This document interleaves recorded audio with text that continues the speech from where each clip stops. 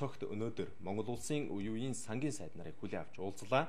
Монгол Ардын намын бүлгийн удирдлагууд сангийн сайд нартай уулзаж эдийн засаг санхүүгийн хямралаас хэрхэн гарч улс орны эдийн засгийг аварч үлдэж байсан мөн эдийн засгаа эрчимжүүлэх ямар арга хэмжээ авч байсан туршлагыг нь хуваалцаж өнөөгийн эдийн засгийн хүндрэлийг хэрхэн давах тухай санал солилцжээ.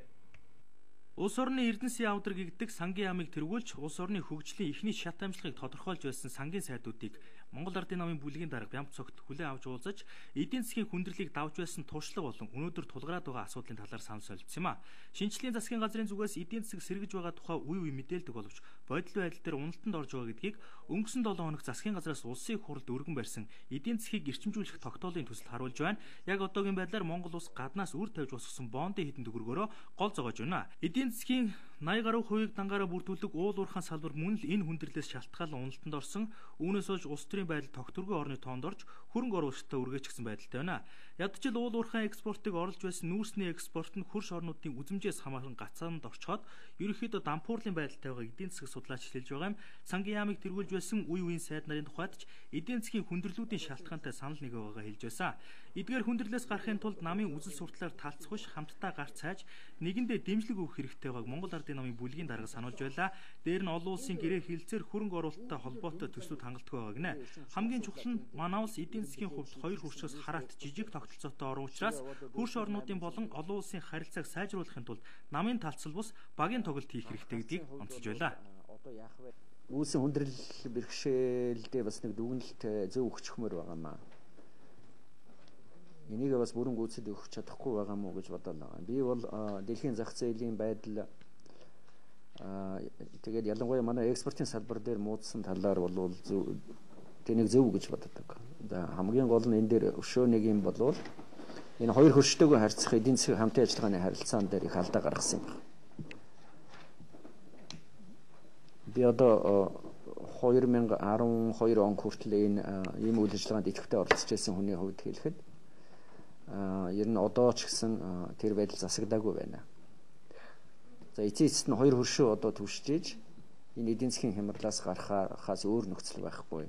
Эхлээд энэ хууль заасан юм да зарыг. За цаана мөнгө гардаг юм бол төсвийнхөө хөрөнгөөр юуг чанартай бид нар хийж чадчихвэ гэсэн. Иймэрхүү юмудаа зарцуулах зүйтэй байхаа. Аа тэгээд төсвийн болоод эдийн засгийн нэгдсэн бодлогыг нэг гарт төвлөрүүлж бүх одоо төсвийн гадуур явж байгаа мөнгө төсөв өөрийнх нь мөнгө энэнийг нэгдсэн бодлогоор өдөрдөхгүй байгаагаас бас үүсэж байгаа баха. 2014 он гарсаар валютын ханш буурахгүй байгаа нь иргэдийн худалдаа авах чадварт нөлөөлж байгаа учраас валютын ханшийг тогтворжуулж инфляцийн түвшинг бууруулан эдийн засгийн тогтвортой өндөр өсөлтийг хадгалах шаардлагатай болж байгаа. Эдийн засгийн хөгжлийн яамнаас эдийн засгийг эрчимжүүлэх тогтоолын төслийн хүрээнд эрх зүйн болоод бодлогын шаардлагатай арга хэмжээг цаг хандлагагүй авч хэрэгжүүлэх хэрэгтэй гэдгийг мэдэгдсэн байгаа. Сангийн сайдуудын уулзалтаар энэ асуудлыг улсын хурлаар хилцэж байгаа зөв гэдгийг сайшаасан. Гэхдээ төсвийг хитрхи олон толгоогоор зарцуулж байгаа байдал нь инфляцид нөлөөлж эдийн засгийн өсөлтөнд бодиттой үр үр дүн үзүүлэх байгаа гэдгийг хэлж байлаа олон одоо толгоогоор энэ тэнд мөнгө зардаг явдал бол угаасаа эцсийн дүндээ нөгөө ханшийн уналт нөгөө эдийн засгийн замбараг байд хүргэж байгаа гэж байна. Бонд нэрээр чамгүй хөрөнгө оруулалт татсан шинжлэлийн засгийн газраас улс орны бүтээн байгуулалтанд гол хүчээ хаяж байгаа боловч яг ямар салбарт хөрөнгө оруулалт хийх вэ гэдэг дээр дан ганц толгоогоор зүтгэсээр ирсэн. Мэдээ саяхнаас эхэлсэн бүтээн байгуулалт учраас ойрын хэдэн жилдээ эдийн засгт нөлөөлөх хэмжээний үр дүн гордтолтгүй. Тиймээс ойрын хугацаанд үр дүн өгөх төсөл, урт хугацааны дараа ашгаа өгөх төсөл гихчлэн нэлээд цензуур тавих хэрэгтэй байсан гэдгийг хэлж байгаа маа. Одоо нэг цахилгаан станц юм уу эрчим хүчний салбарт хөрөнгө оруулалт хийх юм уу зам дээр хөрөнгө оруулалт хийх асуудал нь цаана насар том бизнесийн орчин эдийн засаг байсаар байтал энийг одоо популизм болгох хувирхахаар зэрэг энэ нь өөрөө одоо ингээд утгагүй болчиход байна. Эхлээд өөрсдөө юмаа хийдэг болоо энэ юмаа хийдэг болсныхаа дараа гаднаас юм аавн шүү. Хэрэв өөрсдөө юм хийж чадахгүй бол авсан зээлийг чинь хятад руу юм уу орос руу юм уу эсвэл одоо хайш нь яваад дуусна шүү. Энийгээ та нар хүнээ сургаж аваарай. Энэ эдийн засгийг сэргээхэд нэг 100 хоногийн одоо тийм арга хэмжээ болвол одоо аваад За ер нь дунд хугацаанд сэргэнэ гэж би бодож байгаа. Тийм учраас 3 жилийн хугацаатай аа тийм үр дүнгээ өгөх арга хэмжээний жоохон далайцтай юм хийвэл зүгээр болов уу гэж бас бодох юм аа. Яг ийм юм зүйлүүд дээр ингэж ингэж одоо оруулж өөрчлөл яасан юм бэ гэдэг тодорхой саналууд гаргаад өгнөс бид тусгал талд анхаарч оруулах тал дээр бас анхаарч ажилланаа.